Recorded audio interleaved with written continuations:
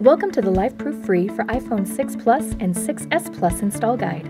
Before installing your device, gather the included parts. Then make sure the O-ring and charge port door seal are in place and free of dust or debris.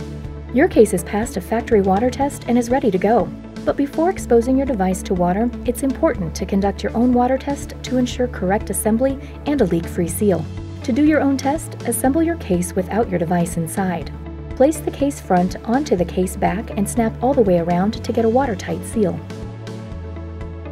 Close the charge port door and screw the headphone jack cover all the way in. Submerge in water face down and weigh it down for 30 minutes. Afterwards, remove the case. Dry thoroughly, being sure to catch any water that may be trapped in the seam, and check inside for moisture.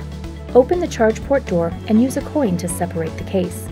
If you see moisture inside, contact us at lifeproof.com/support. If it's dry inside, go ahead and install your device. To install your device, remove any screen protectors and clean it with the included cloth. Slip your device bottom first into the case front, aligning the headphone port with the headphone jack cover. It is important to seat the bottom of your phone into the case before inserting the top. Now snap on the case back and press all the way around to get a watertight seal. Close the charge port door and screw the headphone jack cover all the way in. To remove your device, open the charge port door and use a coin to separate the case.